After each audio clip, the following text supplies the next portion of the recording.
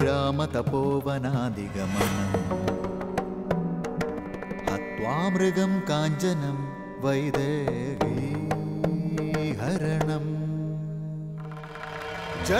जडायुमरणं सुग्रीवसम्भाषणं बालीनिग्रहणं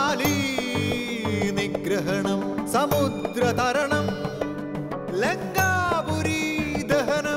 पश्चाद्रा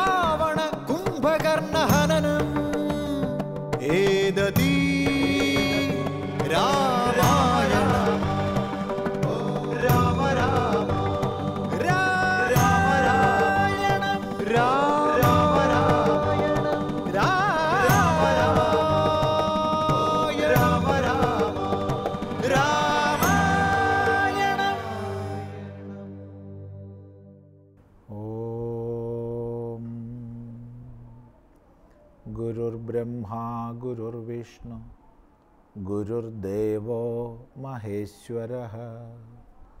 गुरुसाक्षात् परं ब्रह्म। तस्मै श्रीगुरवे नमः। ॐ सदाशिवसमारम्भां शङ्कराचार्यमध्यमाम्। അസ്മദാചാര്യപര്യന്താം. വന്ദേ ഗുരുപരമ്പരാം.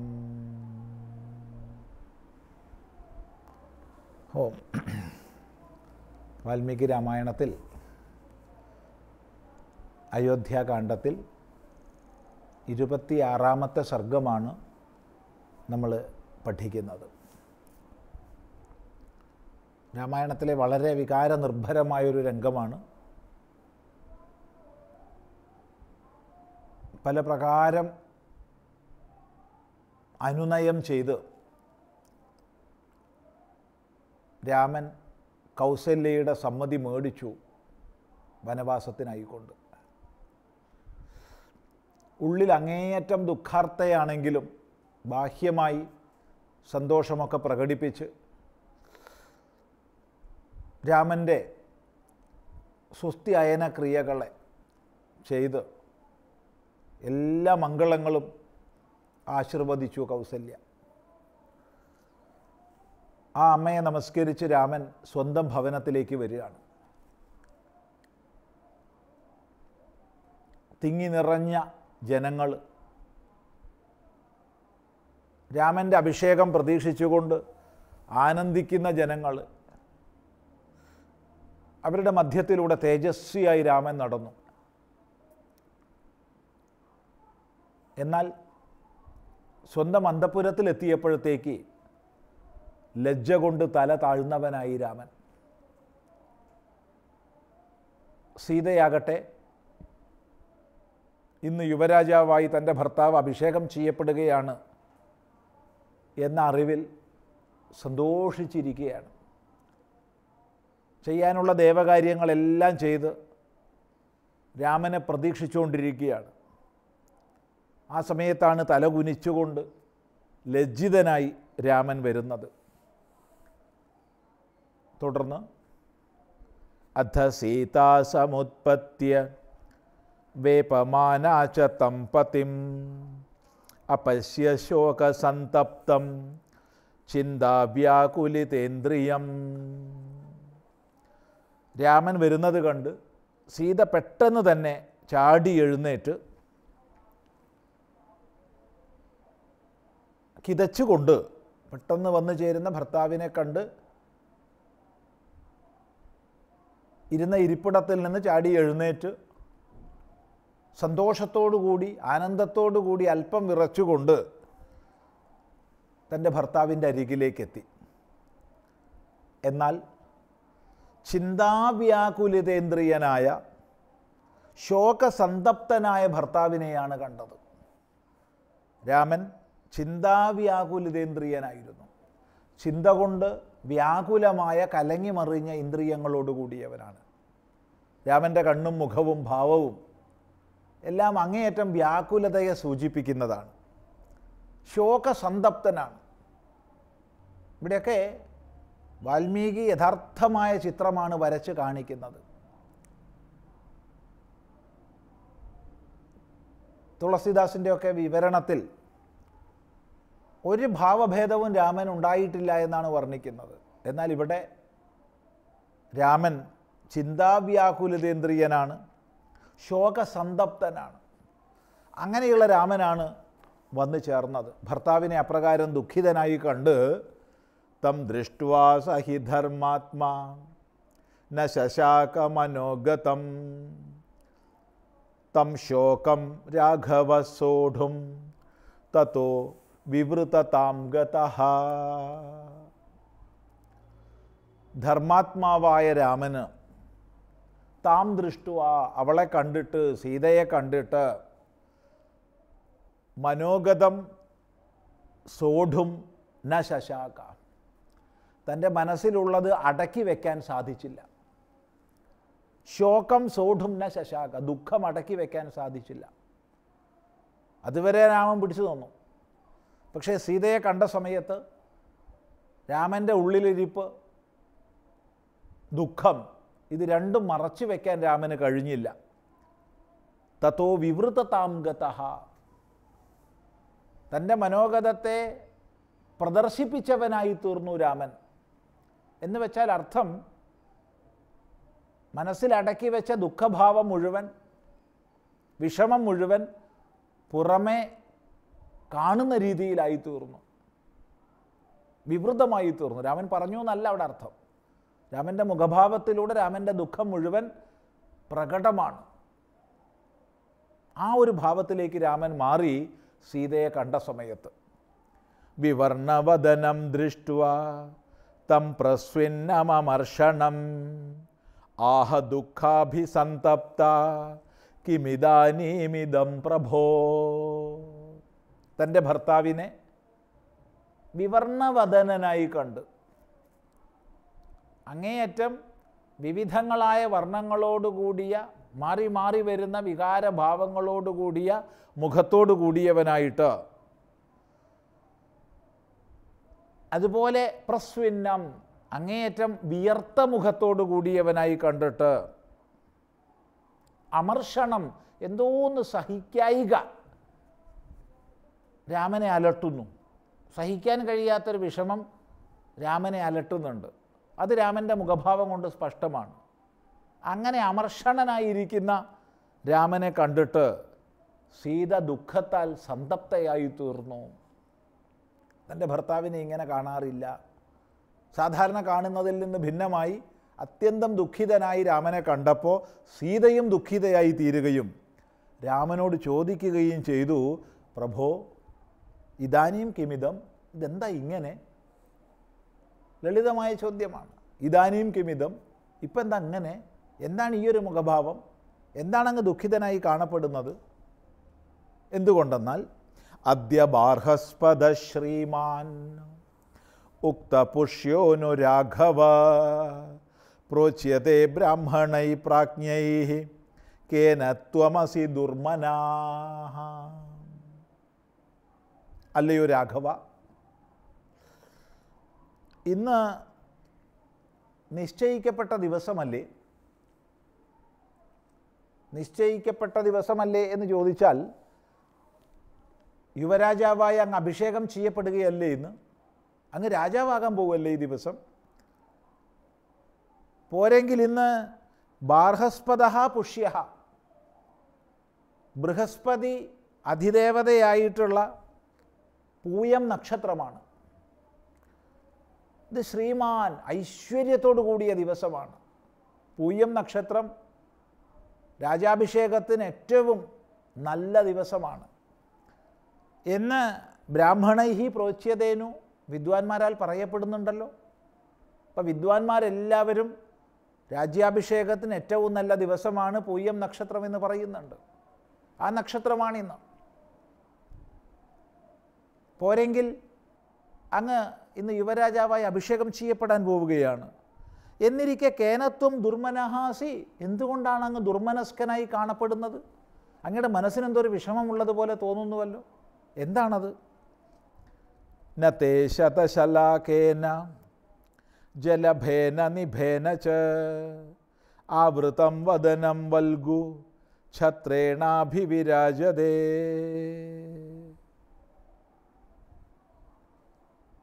അല്ലയോ രാമ? അങ്ങയുടെ സുന്ദരമായ മനോഹരമായ മുഖം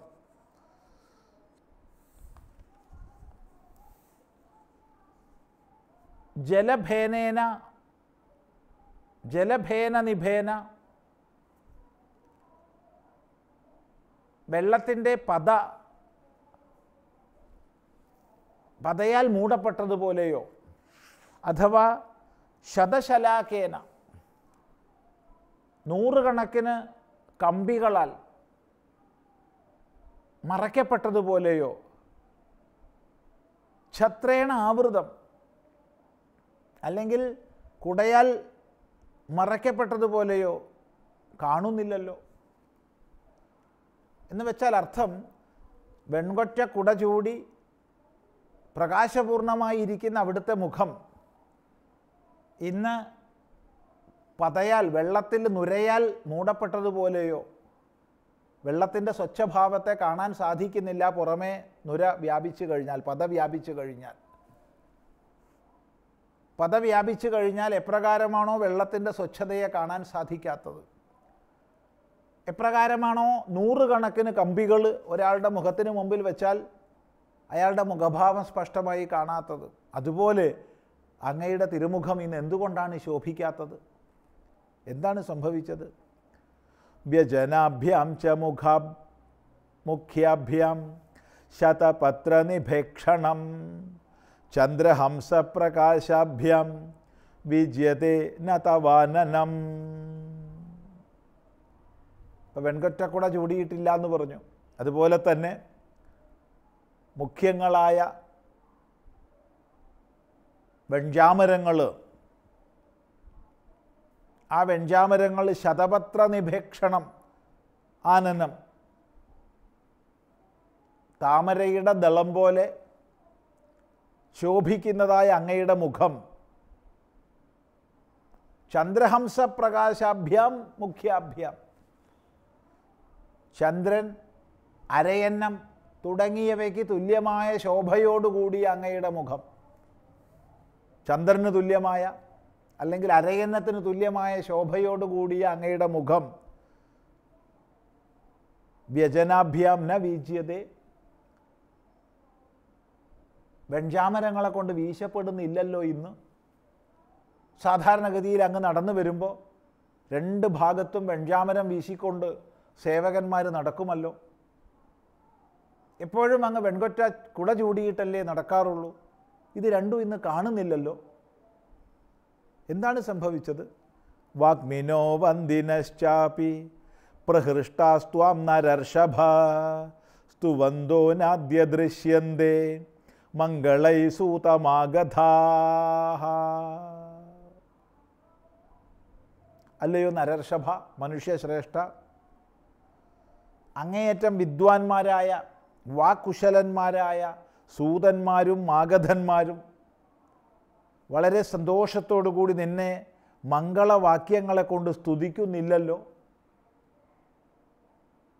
എന്ന് വെച്ചാൽ അർത്ഥം സാധാരണഗതിയിൽ യുവരാജാവ് കടന്നു വരുന്ന സമയത്ത് സൂതന്മാരും മാഗധന്മാരും. രാജമഹിമയെ കീർത്തിക്കുന്ന സൂതന്മാരും വംശമഹിമയെ വംശാവലിയുടെ മഹിമയെ കീർത്തിക്കുന്ന മാഗധന്മാരും ഒന്നിച്ച് സഞ്ചരിക്കും. അവർ പ്രകീർത്തിച്ചുകൊണ്ടേ സഞ്ചരിക്കും. അങ്ങനെയുള്ള സൂതമാഗധന്മാരൊന്നും അങ്ങയുടെ കൂടെ ഇല്ലല്ലോ. ഇതെന്താണിത്? എന്താണ് അങ്ങേക്ക് സംഭവിച്ചത്?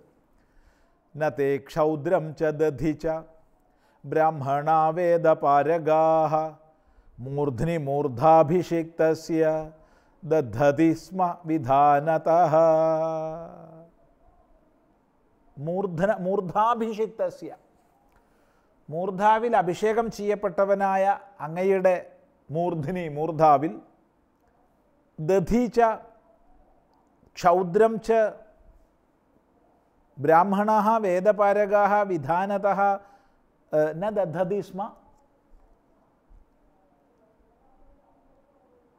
അഭിഷേകത്തിനായിക്കൊണ്ടുള്ള തൈരും മറ്റ് മംഗളമായ തീർത്ഥങ്ങളും വേദപാരകന്മാരെന്തേ അഭിഷേകം ചെയ്തില്ലേ? അഭിഷേകം ചെയ്തതിന്റെ വസ്തുക്കളൊന്നും അങ്ങയുടെ ശിരസിൽ കാണുന്നില്ലല്ലോ. ഇപ്പോൾ തൈര് മുതലായവയെ കൊണ്ട് അഭിഷേകം ചെയ്തിട്ടുണ്ടെങ്കിൽ അത് കാണും. അങ്ങയുടെ ശിരസിലൊന്നും കാണുന്നില്ലല്ലോ. അഭിഷേകം നടന്നിട്ടില്ലേ രാമ? അങ്ങ് യുവരാജാവായിട്ടില്ലേ? നത്വാ പ്രകൃതയ സർവ. ശ്രേണിമുഖ്യാശ്ച ഭൂഷിതാഹ അനുവ്രജിതുമിച്ഛന്തി പൗരജാനപദാസ്തഥ. വളരെയധികം ആഭരണങ്ങളെ കൊണ്ട് അലങ്കരിക്കപ്പെട്ടവരായ പൗരജനങ്ങളും സാമന്ത രാജാക്കന്മാരും മന്ത്രിമാരും അങ്ങയെ പിന്തുടരുന്നില്ലല്ലോ. അഥവാ അങ്ങ് യുവരാജാവായി അഭിഷേകം ചെയ്യപ്പെട്ടിരുന്നുവെങ്കിൽ സാമന്ത രാജാക്കന്മാർ ബഹുമാനപൂർവം അങ്ങയെ പിന്തുടരേണ്ടതായിരുന്നു. പല വിധത്തിലുള്ള ആഭരണങ്ങൾ ധരിച്ച പൗരജനങ്ങൾ അങ്ങയെ പിന്തുടരേണ്ടതായിരുന്നു. അതൊന്നും ഞാൻ കാണുന്നില്ലല്ലോ. എന്തേ രാമ അങ്ങയുടെ അഭിഷേകം നടന്നില്ലേ? ചതുർഭിർവേഗ വേഗസമ്പന്നൈ ഹയൈർകാഞ്ചനഭൂഷിതൈ മുഖ്യപുഷ്യരഥോ യുക്ത കിം നഗതി തേഗ്രത ഏറ്റവും വേഗതയും ഉത്സാഹവുമുള്ള സ്വർണത്താൽ അലങ്കരിക്കപ്പെട്ട നാല് കുതിരകളെ പൂട്ടിയ പുഷ്യരഥം എന്താണ് അങ്ങയുടെ മുമ്പിലായി സഞ്ചരിക്കുന്നില്ലല്ലോ? താല്പര്യം രാജാവ് സഞ്ചരിക്കുന്ന സമയത്ത് രാജാവിന്റെ മുമ്പിലായിട്ട് ഏറ്റവും അധികം അലങ്കരിക്കപ്പെട്ട നാല് കുതിരകളാൽ വലിക്കപ്പെടുന്ന പുഷ്യരഥം സഞ്ചരിക്കും. ആ രഥം അങ്ങയുടെ കൂടെ കാണുന്നില്ലല്ലോ. അങ്ങ് ഒറ്റയ്ക്കാണല്ലോ വന്നത്. എന്താണിത്? അങ്ങ് രാജാവായിട്ടില്ലേ എന്നുള്ളതാണ് ചോദ്യത്തിന്റെ താല്പര്യം. ന ഹസ്തി ചാഗ്രത ശ്രീമാൻ തവ ലക്ഷണ പൂജിത. പ്രയാണേ ലക്ഷ്യതേ വീര കൃഷ്ണമേഘഗിരിപ്രഭ. കറുത്ത മേഘത്തിന് തുല്യമായ വലിയ കരിമലയ്ക്ക് തുല്യമായ ലക്ഷണയുക്തനായ വലിയ ആന അങ്ങയുടെ മുമ്പിലായി സഞ്ചരിക്കുന്നത് കാണുന്നില്ലല്ലോ. അങ്ങനെയുള്ള ആന മുന്നിൽ നടന്നിട്ടില്ലല്ലോ. നച്ച കാഞ്ചന ചിത്രം തേ പശ്യാമി പ്രിയദർശന ഭദ്രാസനം പുരസ്കൃത്യ യാന്തം വീരപുരസരം. അല്ലയോ പ്രിയദർശന? വീരന്മാർക്ക് ഉപയോഗിക്കാനുള്ള സ്വർണത്താൽ അലങ്കരിക്കപ്പെട്ട അങ്ങയുടെ ഭദ്രാസനത്തെ ഞാൻ അങ്ങയുടെ കൂടെ ആനയിക്കപ്പെടുന്നത് കാണുന്നില്ലല്ലോ. ഇപ്പോൾ രാജാവ് സഞ്ചരിക്കുന്ന സമയത്ത് രാജാവിന് ഇരിക്കാനായിക്കൊണ്ടുള്ള ഭദ്രാസനം കൂടെ ഭൃത്യന്മാർ കൊണ്ടു നടക്കും. അത് ഞാൻ കാണുന്നില്ലല്ലോ. അഭിഷേകോ യഥാ സജ്ജ കിമിതാനീമിതം തവ അപൂർവോ മുഖവർണശ്ച ന പ്രഹർഷശ്ച ലക്ഷ്യതേ. അഭിഷേകം എല്ലാ പ്രകാരത്തിലും സജ്ജമായതാണല്ലോ. എല്ലാ പ്രകാരത്തിലും അഭിഷേകം തയ്യാറായതാണല്ലോ. എന്നിരിക്കെ എന്താണ് അങ്ങേക്ക് ഇങ്ങനെ? അങ്ങയുടെ മുഖം ഇപ്രകാരം സന്തോഷമില്ലാത്തതായി ഞാൻ ഇതുവരെ കണ്ടിട്ടില്ല. ഒരു സന്തോഷവും അങ്ങയുടെ മുഖത്തില്ലല്ലോ.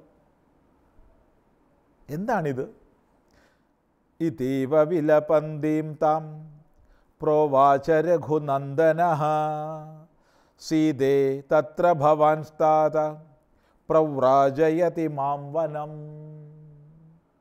ഇപ്രകാരം കരഞ്ഞുകൊണ്ട് ചോദിക്കുന്നവളായ സീതയോട് രാമൻ മറുപടി പറഞ്ഞു അല്ലയോ സീതേ നമ്മുടെ അച്ഛൻ എന്നെ കാട്ടിലേക്കാണ് പറഞ്ഞയക്കുന്നത്.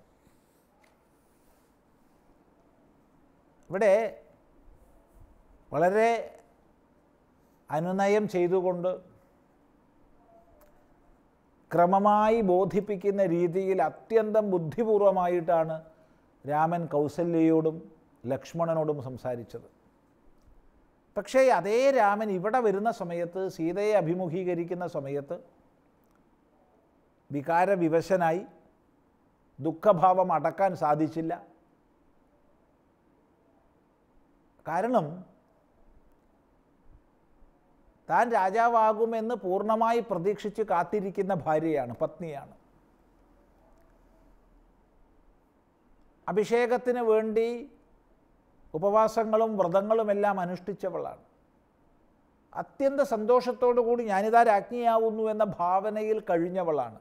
ആ സീതയെ അഭിമുഖീകരിച്ച സമയത്ത് രാജാവ് രാജാവാകുന്നില്ലെന്ന് മാത്രമല്ല കാട്ടിലേക്ക് പോകാനാണ് വിധി എന്നുള്ള ആ ഒരു സാഹചര്യത്തിൽ രാമൻ അടക്കാൻ കഴിഞ്ഞില്ല. രാമന്റെ ദുഃഖഭാവം മുഴുവൻ പുറത്തു വന്നു. എന്ന് മാത്രമല്ല സീതയോട് സംസാരിക്കുന്ന സമയത്തും രാമൻ നേർക്കങ്ങ് പറയുക. സീതയെ പാകപ്പെടുത്തിക്കൊണ്ടല്ല പറയുന്നത്. നേർക്കങ്ങ് പറയുകയാണ് അച്ഛൻ എന്നെ കാട്ടിലേക്ക് പറഞ്ഞയച്ചിരിക്കുകയാണ്. തത്ര ഭവാൻ താതഹ പ്രവ്രാജയതി മാം വനം. നമ്മുടെ അച്ഛൻ എന്നെ കാട്ടിലേക്ക് പറഞ്ഞയക്കുകയാണ്. കുലേ മഹതി സംഭൂതേ ധർമ്മജ്ഞേ ധർമ്മചാരിണേ ശൃണു ജാനകിയേനേദം ക്രമേണഭ്യാഗതം മമ. ഉത്തമമായ കുലത്തിൽ ജനിച്ചവളായ ധർമ്മജ്ഞയായ അല്ലയോ ജാനകി. സീതയെ വിളിക്കുകയാണ്. കുലേ മഹതി സംഭൂതേ. അങ്ങേയറ്റം മാഹാത്മ്യമുള്ള കുലത്തിൽ ജനിച്ചവളായ ധർമ്മജ്ഞേ. ധർമ്മജ്ഞയായിട്ടുള്ള സീതയെ ധർമ്മചാരിണി ധർമ്മത്തെ ജീവിതത്തിൽ ആചരിക്കുന്നവളായ സീതേ ശൃണു കേൾക്കൂ. അവിടെ പ്രത്യേകമായി ജാനകി എന്നാണ് വിളിച്ചിരിക്കുന്നത് ജനകന്റെ പുത്രി. സീത എന്ന് പറയുന്നതിലുപരിയായിട്ട് ജാനകി എന്ന് പറയുന്ന സമയത്ത് ആ ജനക മഹാരാജാവിന്റെ തപസ്സും സദ്ഗുണങ്ങളും മഹിമയും എല്ലാം സീത ഓർമ്മിപ്പിക്കപ്പെടും. ഇത്ര വലിയ തപസ്വിയായ മഹാത്മാവായ ജനകന്റെ പുത്രിയാണ് നീ. എന്നുള്ളത് ഓർമ്മിപ്പിക്കും വിധത്തിലാണ് ജാനകി എന്ന് വിളിക്കുന്നത്. ഹേ ജാനകി ക്രമേണ മമ അഭ്യാഗതം ശൃണു.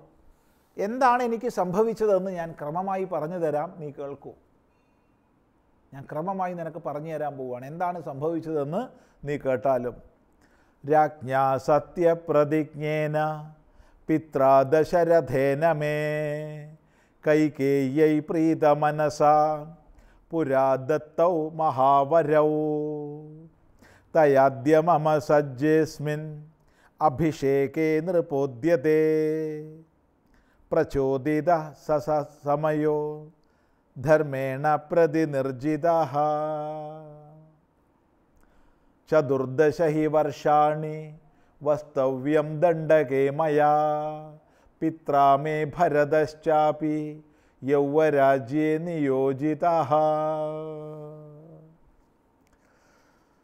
സത്യപ്രതിജ്ഞനായ അച്ഛനാൽ ദശരഥനാൽ അത്യന്തം സന്തോഷിക്കുന്ന മനസ്സോടുകൂടി പണ്ട് കൈകേയിക്ക് രണ്ട് വരങ്ങൾ നൽകപ്പെട്ടിരുന്നു. പുരാ പണ്ട് ദേവാസുര യുദ്ധസമയത്ത് വളരെ സന്തോഷിക്കുന്ന മനസ്സോടുകൂടിയ നമ്മുടെ അച്ഛൻ ദശരഥൻ കൈകേയിക്ക് രണ്ട് വരങ്ങളെ നൽകിയിരുന്നു. ആ വരങ്ങളാൽ എന്റെ ഈ പട്ടാഭിഷേകം യുവരാജാഭിഷേകം സജ്ജമാക്കപ്പെട്ട സാഹചര്യത്തിൽ ആ കൈകേയിയാൽ ധർമാനുസൃതമായി പ്രാർത്ഥിക്കപ്പെട്ടവനായി രാജാവ്. മുൻപ് നൽകപ്പെട്ട രണ്ട് വരങ്ങൾ പ്രാർത്ഥിക്കപ്പെട്ടവനായി രാജാവ്. പ്രതിനിർജിത അങ്ങനെ പരാജയപ്പെടുത്തപ്പെട്ടവനായി രാജാവ്. അന്ന് വളരെ മുമ്പ് കൈകേയിക്ക് നൽകിയ രണ്ട് വരങ്ങൾ കൈകേയി ഇപ്പോഴാണ് ചോദിച്ചത്. അതുകൊണ്ട് തന്നെ രാജാവ് സത്യസന്ധനായ രാജാവ് പരാജിതനായി തീർന്നു. പ്രതിനിർജിത പരാജിതനായി തീർന്നു. അതുകൊണ്ട് എന്നാൽ പതിനാല് വർഷം കാട്ടിൽ താമസിക്കപ്പെടണം. ഭരതനാകട്ടെ യുവരാജപദവിയിൽ നിയോഗിക്കപ്പെടുകയും ചെയ്തു. ഭരത യൗവരാജ്യ നിയോജിത. യുവരാജ പദവിയിൽ നിയോഗിക്കപ്പെട്ടു ഭരതൻ. എനിക്കാകട്ടെ പതിനാല് വർഷത്തെ വനവാസമാണ് അച്ഛൻ നൽകിയിട്ടുള്ളത്. അതുകൊണ്ട് സോഹം ത്വാമാഗതോ ദ്രഷ്ടും. പ്രസ്ഥിതോ വിജനം വനം. ഭരതസ്യ സമീപേതു. നാഹം കഥ്യ കഥാചന. അതുകൊണ്ട് സീതേ ഞാൻ വിജനമായ കാട്ടിലേക്ക് പോകാൻ പുറപ്പെടുകയാണ്. ഒന്ന് ശ്രദ്ധിക്കണം. ഒരിക്കലും ഭരതന്റെ സമീപത്ത് വെച്ച് എന്റെ നന്മകളെ പറയരുതേ.